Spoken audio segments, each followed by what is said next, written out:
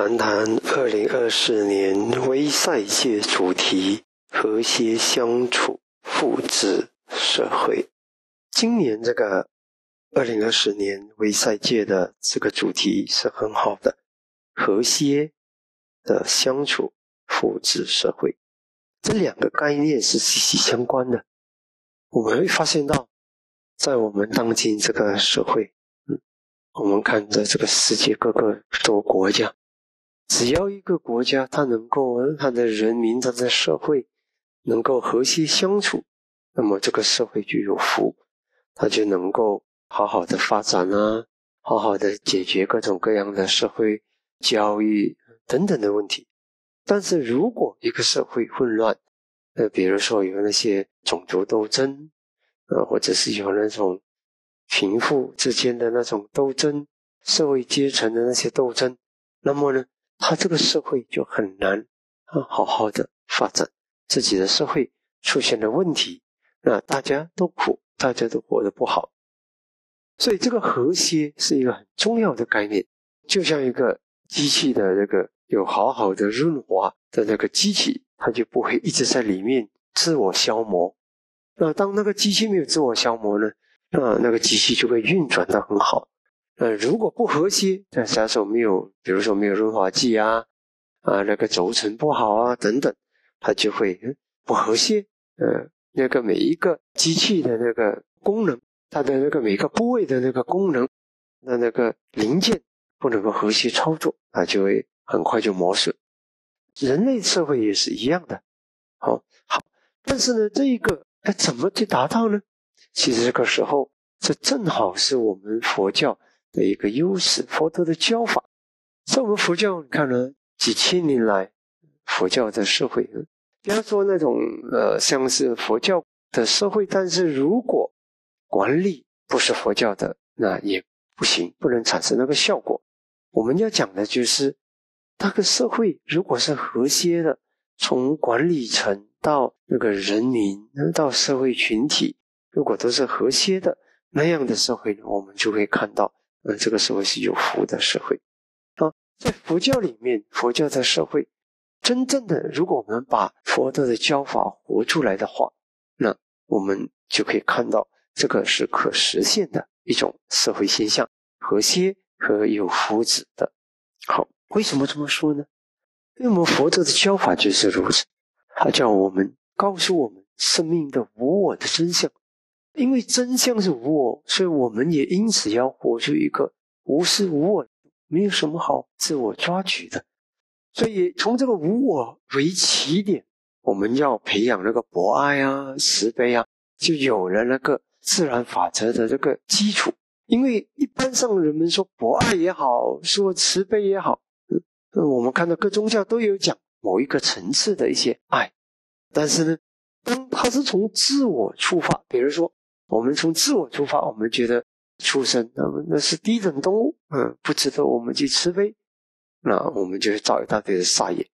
当我们造了一大堆的杀业，即使是我们人互相的报还，人互忍，他还是不能的。为什么呢？因为我们的业，业里面拥有着那种不和谐的业、暴力的业。那这样的话呢，即使是我们想要抱团和谐，也做不到。到了某一个时间的节点，社会的不同的族群就会起斗争了。但是，如果我们从佛陀的教法出发，呃，我们自己从内心了解到这个生命的无常，生命的刹那生命很短暂，然后，不值得我们为了这个短暂的生命去造一大堆的苦因，去伤害众生，我们更容易活出慈悲。嗯，我们不只是对人慈悲，对众生也慈悲。所以在这样的情形之下，我们造下的业是什么业呢？是和谐的业啊，和谐业。所以人与人之间和谐，而且人与众生跟大自然之间也和谐啊，不只是一个很狭隘的和谐观念，不是，还是个广博的。当我们从内心活得安稳、活得有法的时候，那。我们的慈悲自然的展现的时候呢，我们不只是会在人群中保持和谐，我们跟这个大自然也会有一种和谐相处、和谐的状态。那么呢，这个时候呢，它就有一个广义的和谐了。所以在这样的情形，我们所做的一切，我们就可以安下心，好好的解决人世间的问题、贫富的问题、贫穷的问题、社会犯罪的问题，然后呢，发展的问题，然后呢，安全的问题。所以，如果我们能够这么做，这个社会就会可以享有，呃，每个人都可以享有他们想要。拥有的那种美好的生活啊，这个就是福祉社会了。好，那我们怎么做到呢？听起来好像这是一个很很遥不可及的东西，因为嗯，我们总是觉得你想的美，但是呢，别人不跟你配合，你怎么办？但是佛教正好很重视的就是从自身做起。也许我们一时之间不能够改变到整个社会全部人一起做，但佛教是不等。不是说要等到别人都跟我们相呼应了啊，那我们才能够做，不是这样子的。佛教的教学从进化的那个法则开始，我们都是从自身做起。别人做不做，我做；别人活不活得和谐，活得不活得安宁、祥和、慈爱，那是别人的事了。我先从自身做起。当我活得有法、活得慈爱、活得充实的时候，当我们。活得强大的时候，嗯，活得快乐的时候，我们在这个社会里就会形成一种辐射力量，会影响到我们的那个生活周边的那个圈子。所以就是这样子的一个从自身开始做起的一种和谐，那么呢最管用，因为他不等，一个人做就一个人做到，一个社区做到，那一个社区就和谐，然后呢一个城市做到，那一个城市。就有和谐，所以是这样子的。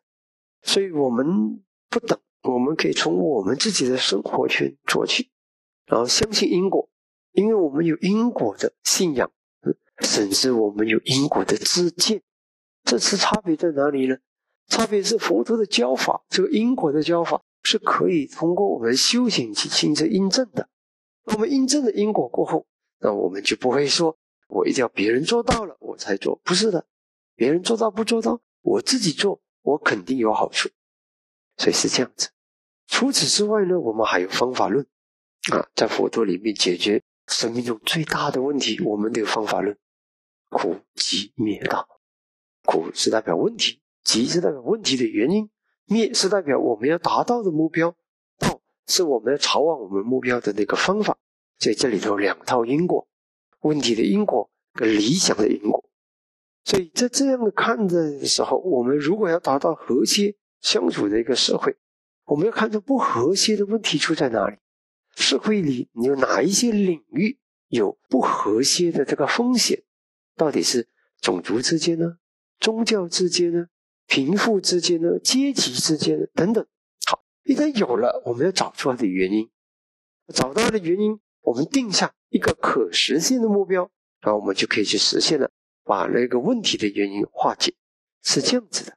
好，所以如果我们特别是慈悲的精神，如果我们活出慈悲，然后比如说我们佛教在行善的时候，行慈善的时候，不会只限于我们利益佛教徒，我们也可以利益其他宗教徒，不只是利益自己的民族，也可以利益其他的民族。所以，当我们这样子先走出去一种广阔的胸怀对待别人的时候，其实呢。它是有一种感染力的善的感染力，所以也会引发至少一部分，呃，让社会上比较不平衡的族群，啊，也会被我们的美好的行为感染和感动。所以呢，这个就可以通过这样子的做法，制造一个和谐的社会、福祉的社会。而且还有呢，比如说我们佛教很重视正语，不妄语、不良食、不恶口、不绮语。特别是这个不两食不二口，我们就是不要对别的族群起攻击性的言论。很多时候，我们看到社会上的不和谐都是言语产生的。那我们只要大家把佛陀教法活出来，活着一个呃温文呢有文明有道德的一种行为操守，那那肯定的，我们就会给这个社会，我们的处在的国家，我们的社会。注入一股和谐的能量，就从我们自身做起，这是可以做到的。这个在当今这个时代混乱的这个世间，战斗的世界，我们佛陀的教法是更加重要的。谈佛陀的生平事迹，他的教诲，以及如何将佛法应用到日常生活中。佛陀，我们所认识的释迦牟尼佛，已经被无数的历史学家证实，的确是在两千五百多年前以前，在印度，在尼泊尔出现过的一个伟大的人物。从人他修行到他成佛，所以这是一个历史事迹。佛陀的出现是我们人类历史上的一个伟大的事，真实发生的事。佛陀为什么会这么伟大呢？是因为他以他整个生命是实现了法，活出了法。活出这个法有什么特别的功效呢？它的功效就是彻底的。战胜人心所有的弱点，贪嗔痴慢疑妒忌吝啬等等等等的人的弱点，这是嗯，在很多时候人们说造物者都做不到的事，嗯，但我们佛教啊不是不相信造物者的，嗯，我们相信的是生命的一种自然，在这个自然里，它有一个希望。就是我们可以消除所有的烦恼，所有的苦因，然后呢得到解脱，不用在这个生死的轮转里面呢受苦。我们可以选择一种无苦的一个结局。我们可以不要苦，苦不是说我们一定注定永远摆脱不了，不是的。所以佛陀给我们看到这个希望，那他是怎么成就的呢？我们都知道，佛陀成佛以前。我们都把它叫做菩萨，嗯，他在过去的佛，佛不是一尊啊，佛可以只要有人修行成佛，那就会陆陆续续有数不尽的佛出现。只是一般上我们说佛陀，佛陀常常我们指着历史性的，在我们人类历史上所记载过的那两千五百多年前的释迦牟尼佛，但是在佛教来说呢，佛陀只是一个名词，代表着一个或者。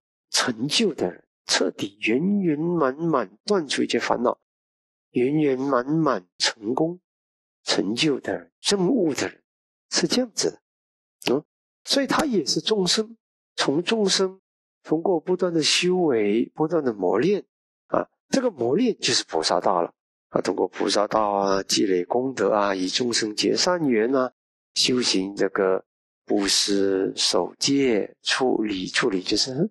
出家了，放下一切世俗的事，然后智慧，然后精进，然后呢忍耐，忍辱，忍辱和忍耐，还有这个真实，嗯，还有决意，呃，修就受他的决意，还有他的慈心，嗯，慈悲，还有他的舍，在这菩萨道上总是这样子磨练自己，一而再的磨练，多少事多少生多少世，他出家去修行，然后一直提升自己的心灵。消除自己的种种的弱点、烦恼、贪嗔痴，消除，啊，一直到最后一生，他成功了啊！诞生成在这个尼泊尔地方叫兰比尼耶那边，嗯，诞生成为悉达多太子。然后呢，到了他二十九岁那一年呢，他也过过那种十六岁结婚，嗯过有娶过妻子，生了孩子。但是到他二十九岁那年呢，他见证了。世间原来有老人哦，原来我们全部人都会老；有病人，原来我们全部人都会生病的。嗯，没有说不生病，那我们全部人都会死。啊，见证了这一点过后，他对生命已经看得不再失去了。见到老人的时候，他的青春的骄傲顿时就消失了。因为有什么好骄傲？会过去的。你再青春、再年少，他都会过去，会失去。他的骄傲就没有了，然后呢，当他遇到病人，他的健康的骄傲没有了，以为啊，我永远都很好，我永远健康，不会有一天我们都一样，都会遭受到病痛的那个苦难，所以呢，他骄傲没有，他要解决这个问题，嗯，啊，遇到死人的时候，他就知道生存的骄傲就没有了。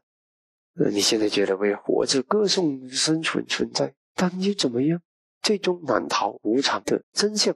你还是要苦。所以呢，他要解决的是人世间真正的那这核心问题，谁也摆脱不了的问题。但是他要找出一条出路，一个答案。嗯，所以当他在遇到一个修行人的时候，他说：“修行人是什么？修行人原来是寻找真理，为生命中的真理而奋斗。”啊，那个时候呢，他也觉得，嗯，作为一个很有能力的人，他要为世界寻找答案，不然的话，嗯。只是过着养儿育女的生活，那又能如何？啊，自己的自己的生命的根本问题不能解决，你怎么帮助别人解决问题呢？所以菩萨的心是非常伟大的，他想的都是生命中的大课题，他要解决的，要帮助人类、引导众生克服的是生命的大课题。所以呢，他就二十九岁那年，他就决定，嗯，去出家修行，寻找真理，不断的修行。所以后来经过六年的苦修，后来他就终于悟到了生命的中道，要远离极端，远离了极端的享受娱乐，也要远离极端的折磨自己，啊，要走中道，恰到好处，过着中道的生活，平衡的生命，啊，在平衡中奋斗，积极的奋斗，啊，到最后呢，他体证了呃缘起法、无我法。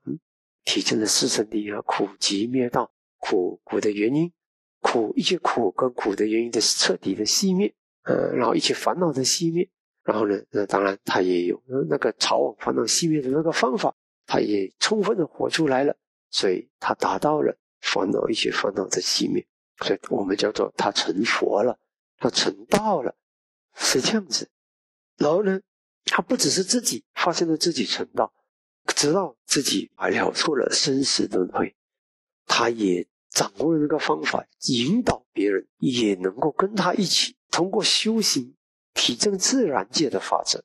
因为体证自然界的法则，自然的破除了我们的贪嗔痴烦恼升起的那个根源，就是我们的私心、我们的自我、我们的那个对生命的一种错见，认为有一个永恒不变的我，然后呢，以为。没有因果法则，以为死后什么都没有，没有轮回等等，就是这种错见，让很多人、很多众生一直在造苦因，一直在受苦果，造苦因、受苦果、造恶业。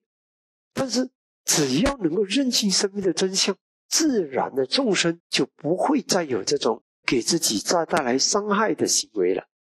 所以，这个是它的核心教育，就是让大家看清真相。就好像我们看到真相，我们知道前面是悬崖，我们就不会跳下去；或者有些人说我要自杀，但是如果他知道自杀后的后果是怎么样，原来是更惨的，甚至有下地狱的很大的可能性，那么呢，他就不会去。他想要自杀，他也不敢做了，因为死后原来是更惨的，不是一了百了，而是死后还会允许生命，因为那不是解脱，解脱是解脱，自杀是自杀。所以佛陀的教法就是通过这个过后呢。他发现了这个法则，他就通过他的领导，用法的领导，领导这僧团，让僧团们都能够跟着他所教导的修行法则，然后呢，也能够体证他所体证的苦集灭道四圣谛，体证涅槃。所以呢，他达到了自度过后，自己度化了自己，度自己脱离苦，然后呢，他又懂得度化众生，啊，教出整套一套完整的法，我们叫做三藏。经律论三藏，所以这个是佛陀的教法。教法就是让我们呢，通过戒定慧的修行，破除我们的贪嗔痴，让我们不再造苦因，不再受苦果，然后呢，最终能够达到解脱啊，跟他一样，像佛陀一样达到解脱。所以他还教我们怎样扭转生命。他不是教我们的宿命，是我们的命有一些东西是跟着我们的业带给我们，但佛陀教我们。掌握当下，怎样在当下修法、修心、修我们的因、修我们的界定慧，然后呢，让我们能够好好的度过一切的苦难、一切的苦跟苦因，克服一切的苦因，也免除一切的苦果。啊，这个是佛陀的教法。嗯，这为什么我们要忍耐？为什么我们要勤奋？为什么我们要看生命的真相？啊，这一切，它不只是告诉了我们这个答案的价值，也告诉了我们寻找那个答案的那个方法。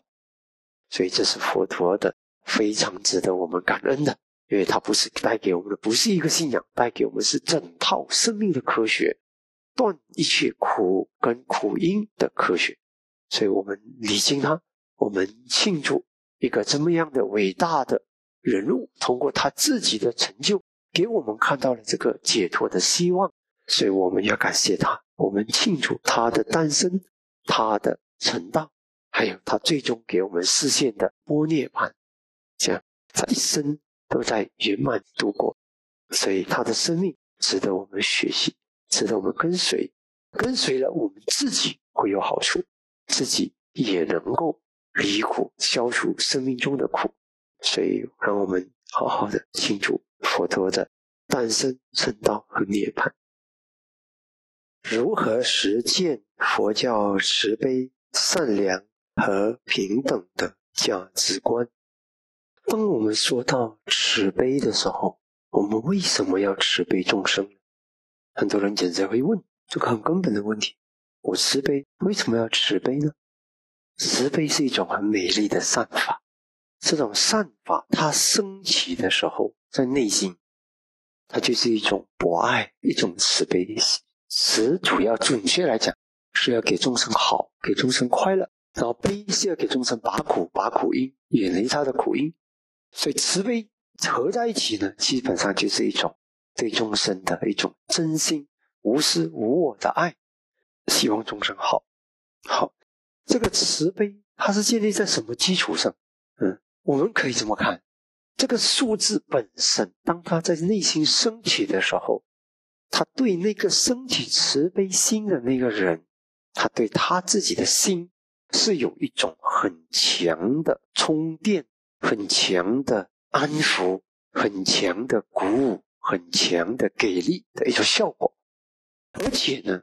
这个慈悲心的升起，它也会带给周边的众生这种力量啊，它会有摄受力。众生都得到了慈悲的对待的时候，或者慈悲的磁场的时候，他们的潜质、他们的善、他们的美好都会被带起来。所以，从这个慈悲这个数字本身开始，它就有这种自己给自己利益、智慧惠他。自益益他的那种效果，因此它是一个美好的数字。那么呢，它在另一个基础上来看慈悲呢，它是因为众生本身就有一种趋向快乐、远离痛苦的这个本能，一切众生都是如此，包括那个有自虐狂的人都是如此。他只是因为某一种性格、某一种背景，让他的心智有一点扭曲，但从最根本骨子里。他都是希望快乐，不要痛苦的啊！这点我们要知道，一切众生都要快乐，不要痛苦。所以，在这个自然现象、众生的现象里头、本性里头，作为一个基础，既然众生都希望要快乐，不要痛苦，我也是这么样希望要快乐，不要痛苦。众生人们也是这样希望要快乐，不要痛苦。所以，如果我培养出一种爱的心、真爱的心、无私的心对待别人。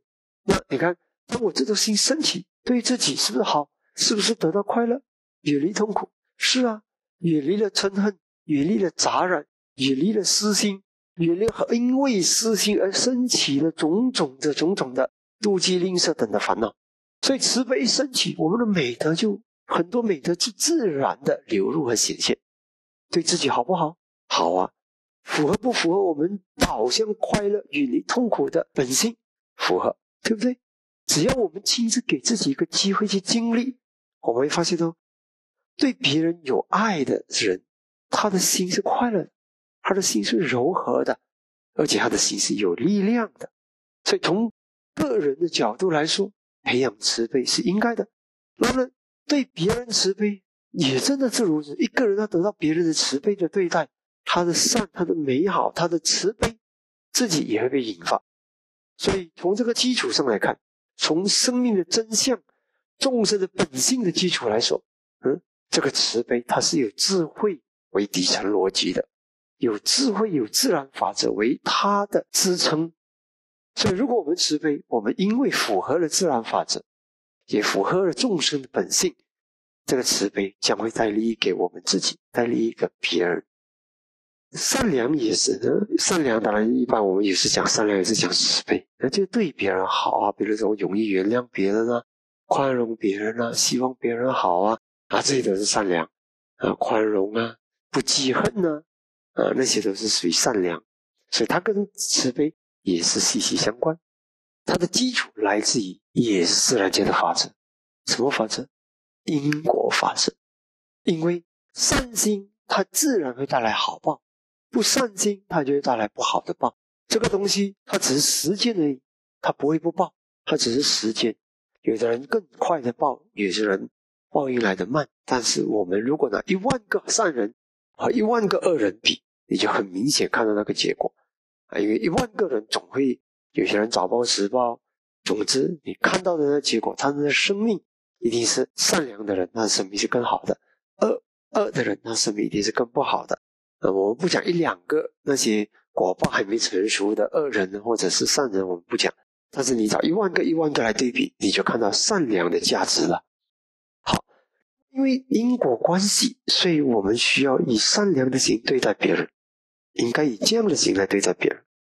所以我们有了这个基础，所以我们这个道德观、善良的这种道德观，它不是谁决定的，是自然界法则决定的。所以他就有让我们去实践的那个说服力了。为什么？自然界法则这么决定的，是这样的，这是自然的现象。所以我们为了让自己过得更好，也希望能够带更好的东西给别人，我们需要活得善良。好，平等也是一个很美好的数字，但是我们了解，这里平等就有一点智慧了。众生真的是平等的吗？我们在本质来讲。在某一个角度来讲，它是平等，因为自然界的法则、因果法则对每个众生，不管是小蚂蚁跟大象，都是一样操作的啊。但是小蚂蚁他的因缘跟大象的因缘不一样哦，啊，一个有美德、有功德的人，他的因缘跟一个没有功德的人，他的因缘就不一样了。所以，当我们讲平等的时候，我们是在怎么样的基础上讲平等？我们实在是从无我的角度来讲平等。当我们从生命的无我法则出发，当一个人不平等，他是什么东西不平等？是从他的私心自我出发，谁对我有利，我就偏他；谁对我不利，我就讨厌他，呃，贬低他。但是对于一个觉者、一个证悟了知生命真相的佛、毗湿佛、阿罗汉们来说呢，因为内心的我已经被看破了，没有我，所以因为没有一个我。就没有我的分别，没有我的分别，对众生就平等了。但我们要小心，这个平等是不是表示我们不懂得分辨？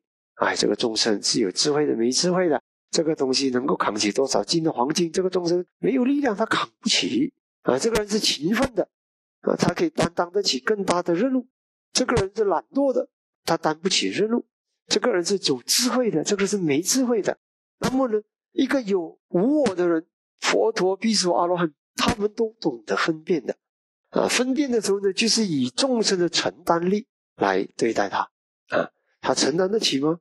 一个有承担力的人，他得到好东西，他会变得更好；没有承担力的人，他得到好东西，他可能就会不能善用，就变得不好啊。就好像你把剃刀交给猴子，他可能伤到自己，对吧？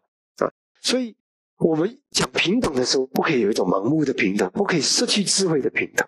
不是的，我们是因缘要分辨，根据众生承担得起的来对待他。一个老板，他要对待他的员工也是要奖励，也要根据员工的表现来奖励，并不表示他不平等啊。但是呢，他是要给大家同样的都可以拥有他们承担得起的机会啊。但是如果他承担不起，那就不能了。所以，在这个真正的平等的价值观里面，我们。比如说，在领导啊、待人处事啊，当我们以这样的平等心、有分辨智慧的平等心对待众生的时候呢，它带给众生什么样的一个效果？它带给的是一种希望，也就是说，每一个人只要他具备了除一样的因，他就会得到一样的善待和果报，所以他的那个生命的积极性就会被调动出来。如果是一个不平等的社会，比如说这是贵族，他永远就是贵族。再坏再坏，他也是贵族。你是平民或者是贱民，那你再怎么努力，再怎么聪明，再怎么勤奋，你都看不到希望。那么呢，众生向上向善的积极性就被破坏掉了。好，所以我们要看到这个价值观的重要性。而且呢，如果我们能够平等待人，以这种平等心待人，也是降低自己的自我。就是说我不是从我自我出发来对待你，而是我根据我观察你的承担力来决定我怎么对待你。啊，这种方式。所以这种方式，我们越这样子对待众生，我们越无我，越无我，们越修，就更靠近体证生命的真相，更靠近体证涅槃的快乐。更靠近跳出生死轮回，是这样子的。所以这种平等的修为对众生好，对我们自己也很好。好，了解到慈悲、善良、平等的这个价值观，而且懂得如何依照自然界的法则把它用出来、活出来，而不是盲目没有智慧的用。一定要用得好，用了一切会变得更好，那才是用对。好，如果我们在这样的基础上呢，那我们去把它活出来。我们会让自己跟众生都不会有那种矛盾啊！我就是会对待你，因为无我而活得平等，因为明白因缘、明辨因缘的产生的那种如实观，我们就能够平等的对待众生，又同时不失去分辨的能力，而能够调动众生的积极性。所以这样子活出这个慈悲、善良跟平等的价值观呢，这样子的实践法。它是经得起现实的考验的。如果我们只是一厢情愿、没有智慧的啊，盲目的平等、盲目的善良，到恶人要做坏事，我们也纵容他的坏事，那就不对了。应该叫警察抓起来的，还是要抓起来；应该关监牢的，还是要关监牢。这个没有违背善良的原则啊，所以我们要明白。那么我们这样子，我们就可以活出慈悲、善良、平等这些价值观，自己会活得好。然后也不会伤害到自己，对社会也是一种可续的运作，那就是就是对的，啊，把法活出来了。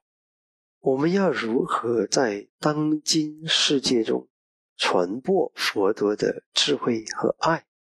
我们要从自己做起。当我们讲要传播智慧跟爱的时候，我们一定要从自己做起。自己没有智慧、没有爱的人，他是传播不了智慧跟爱的。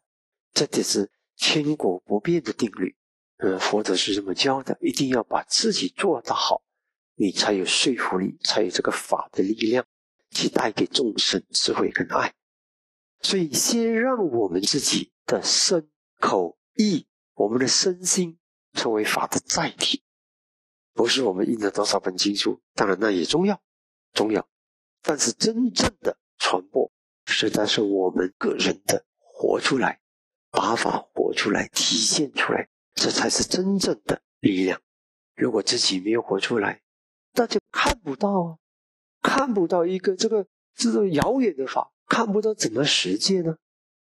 像我因为亲近那些很有智慧的导师，呃，有些是圣者，嗯，有些是菩萨，嗯，甚至还有一位导师是受记菩萨，亲自见证他如何活出那种智慧。如何活出慈悲？如何在困难的处境里面，他的心始终平和，始终能够把一切变得更好，而不是更糟。他能解决的解决，不能解决的，他也会用最好的方式去回应，至少不会把东西变糟。所以，当我们亲近过这样的人的时候，我们看到他怎么活出法，他本身就是法的一种体现的时候，我们知道怎么培养自己了。怎么训练自己了？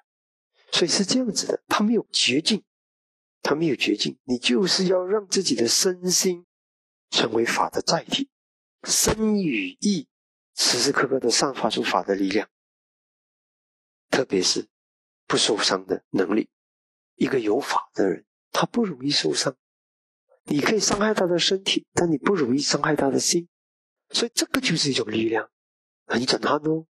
当你看到别人能够不受伤的时候，自然的你会，我们人都是向强者靠拢，会佩服他的力量，就会佩服他到底做什么，他是怎么修的，就会想要修，对不对？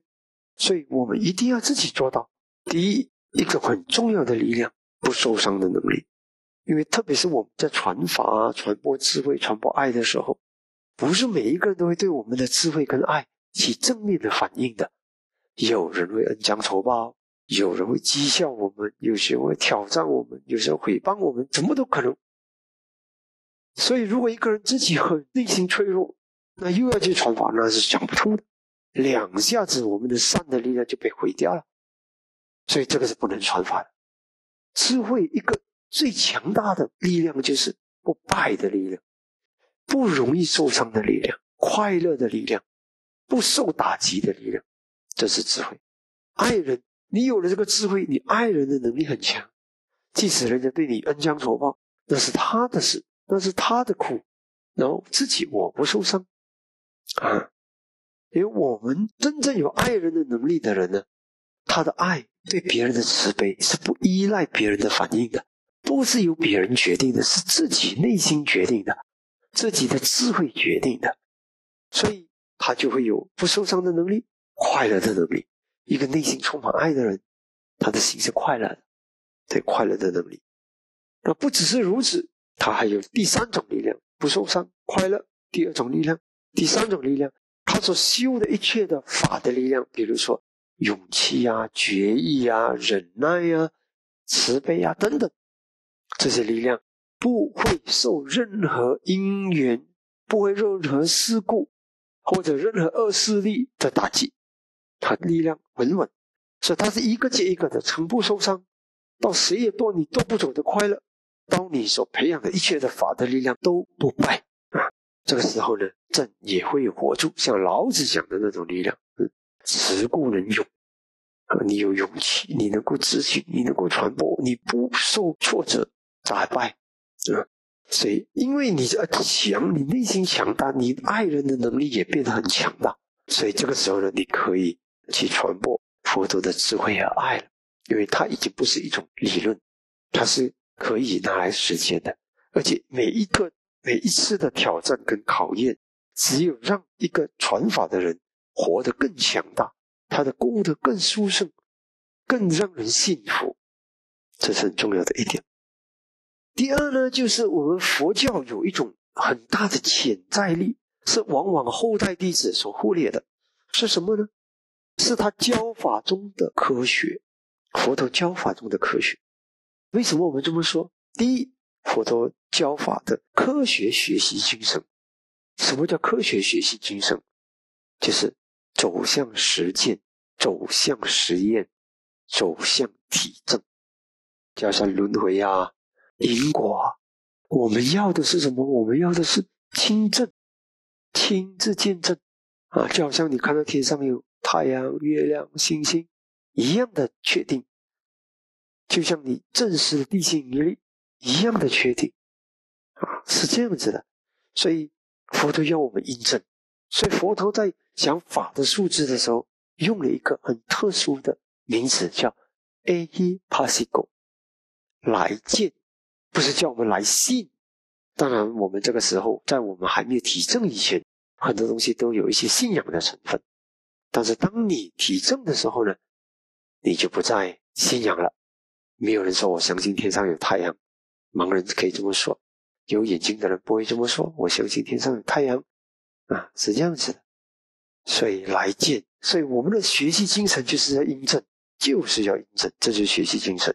第二呢，就是他的科学实践跟验证能力，佛陀整套教法的，比如说这个八正道啊、三十七道品啊、修法啊戒定慧啊，修到我们可以亲自验证佛陀的教法。他不是跟你讲了那个答案，然后是你只能相信那个答案，不是的，他是教你怎么样的一步一步按部就班，自己证实那个答案的存在。就好像佛陀，就好像一个在山顶上的人。他告诉我们，山背后有这么美好，不像这里有洪水猛兽。你到了山背后就怎么怎么样，但是他不会只是这样子告诉你，让你相信，然后永远得不到。他是教我们上山爬，怎么爬到山顶，从到了山顶，你自己就看到山背后是什么样的东西了。啊，你要不要去，你自己决定了。原来有另一种可能，原来生命中有另一种自然，不只是弱肉强食的那种，不是。原来有另一种自然啊，所以这个是可以验证的。所以这个时代，科学对我们社会的发展的是起着多大的作用和影响？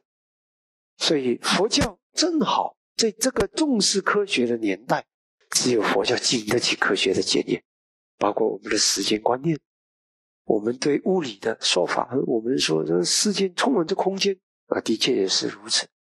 嗯，我们现在的确在墙内可以收到墙外的手机讯号，嗯，等等，可以看到这一点吗？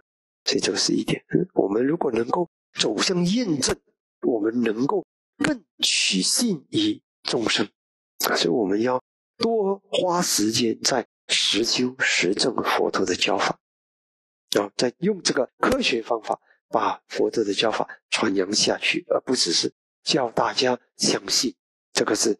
最经得起时代的考验和检验的教法，我们要把它活出来。这是我们佛教特有的力量，就是它不是一个信仰的宗教，它是科学。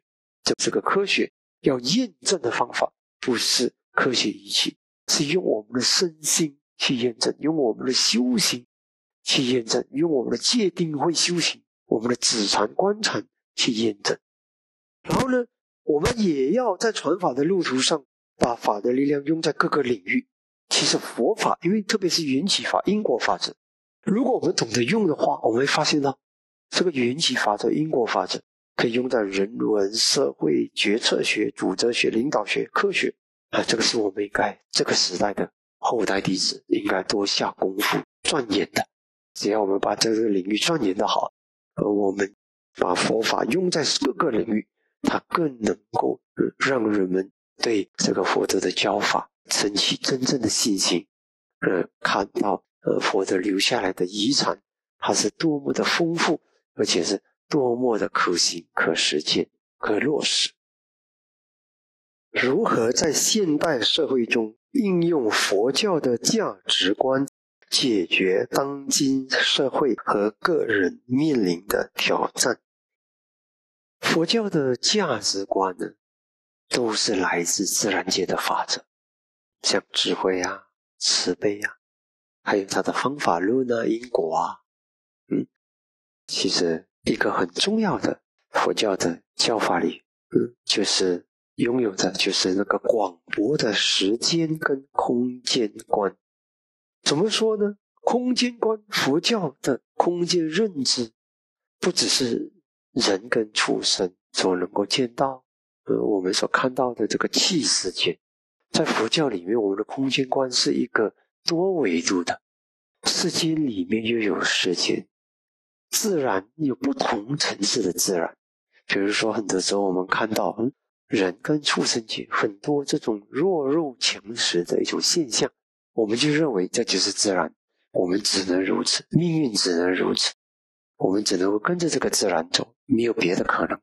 因为我们的空间观被锁死了，在人跟畜生界。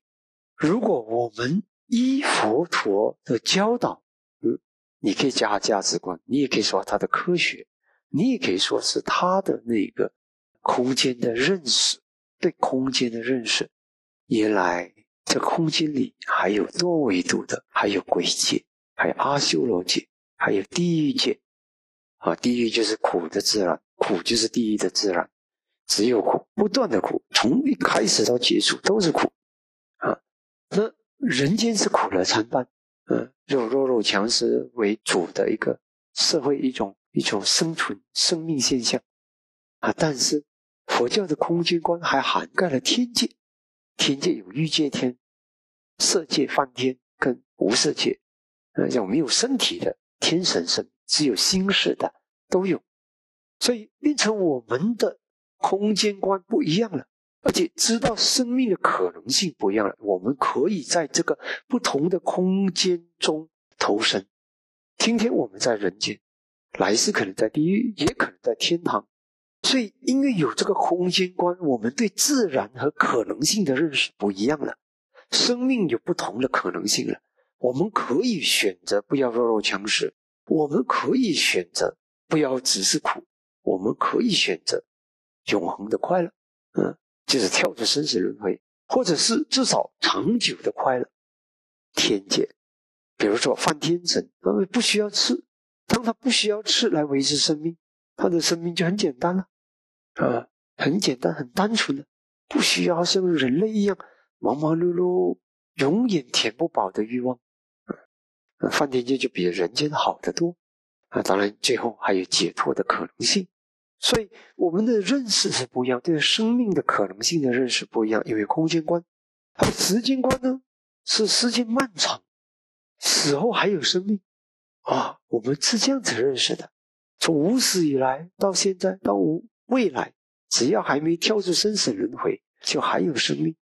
所以这个生命里头那不简单哦。我如果有未来的生命，我们的规划就不一样了。我们就要了解怎样决定未来的生命。哦，原来它有因果的，原来这个现象是一种缘起现象，它有因果的。哦，原来我们怎么投生，我们的未来怎么样，跟我们所做的、现在所做的一切息息相关。那我们就更懂得把握现在，特别是当我们明白到过去到现在、现在到未来，它之间的那种缘起现象、它的因果关系的时候，我们就懂得把握现在了。好，这就是长远的时间观、广博的空间观带给我们的一种。心智的发达、单纯跟发达，让我们更有长远的宏观能力啊，可以打破狭隘的思想限制。那有了这样的广阔的时间空间观过后，我们会怎么样？有什么实质上的不同吗？有的，我们不会再给自己造苦因了。我们明白了这个法则，我们为什么还要给自己造苦因？所以，我们。就会对自己好，也对别人好，啊，我们对自己好，对别人好，而且呢，因为我们对别人好，对自己好，我们造下的是对的因、善的因、好的因，因上是快乐的，果也是快乐的，而不是像有些人追求的是眼前的快乐，但是果报成熟是苦的。而我们看到有另一种可能性，可以我们所做的是因上是快乐，果报也是快乐的。当我们看到这些。种种的向上向善的可能性的自然法则之后，我们会把这个智慧用在我们的个人，从个人开始，先自己清尝这个法的真慧，它的利益，然后这个因果智慧用在个人，用在个人过后，我就从个人辐射到家庭，啊，大家整个家庭，然后呢就辐射到社会，这个就是佛法的力量产生的变现能力。什么叫变现能力？就是这个法不是遥远遥远的法，是一个我们能够让我们的生命中带来实实在在的升华、利益、快乐的一种能力。呃，当我们有这个变现能力的时候，我们对自己能够提升，能够克服自己的种种问题。至少我们克服的方式，也许我们不能够扭转过去是造下的恶业所要产生的果报，但是呢，我们所应对的方式肯定。不会把东西变得更糟，因为我们不再增添苦因了。在因果上，我们拿对了，不再给自己增添苦因，不再给家庭社会增添苦因。该忍的忍，但是我们会继续在艰苦的处境下造善因。那长远下去，我们的生命就会变得更好，家庭社会也会变得更好。还有一样呢，比如说佛陀的这个方法论，苦集灭道的方法论。我们会发现到，你用来解决社会问题、企业问题、国家问题，真的，如果用这种方法来看待事物，什么问题来，一定要找出问题的原因。你有什么理想的目标，一定要认清它有什么障碍、有什么问题、什么问题的原因吗？要怎么克服？怎么达到那个目标？而不是一种没有因果思维、凭空要追求好的结果又不知道怎么做，不会讲，不会是茫然。至少我们的心态，我们的落手下手的方式会对啊，这个是方法论带给我们的。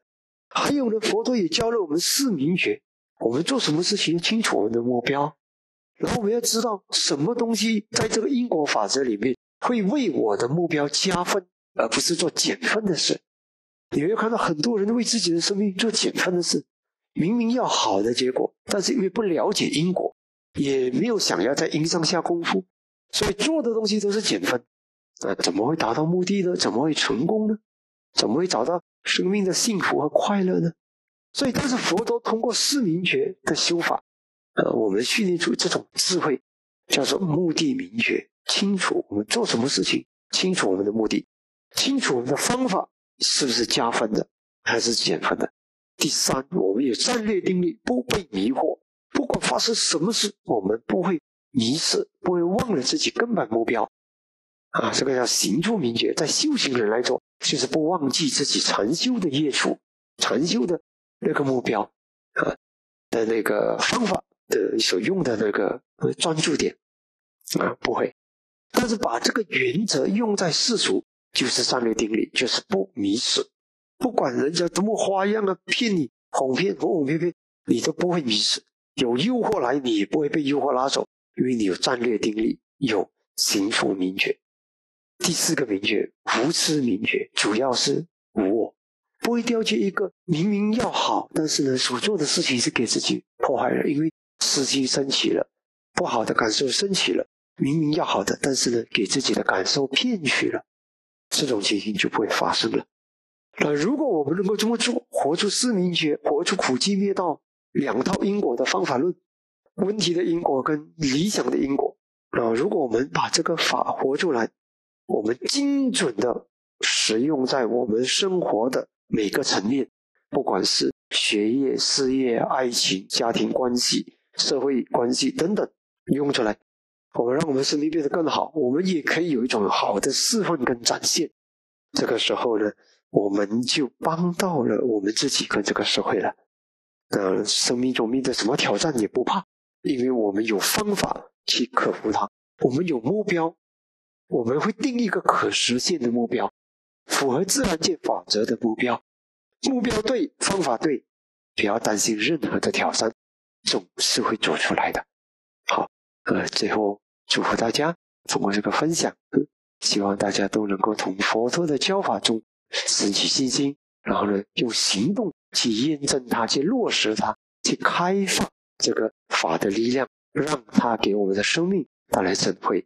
后。师傅也祝福所有听众，呃，收音机旁的听众朋友们，呃，过一个快乐、平安、快乐、健康、三法增长、三愿成就的啊，微赛节，还有这新的一年，呃，这个从呃这一个微赛节算起的，呃，新的一个一年，明年微赛节，让我们再问问自己，我在佛陀的教法里面又提升了多少？然后呢，也得到了多少法的珍慧？让我们的学法，让我们活出一个实实在在的一个学法历程。祝福大家。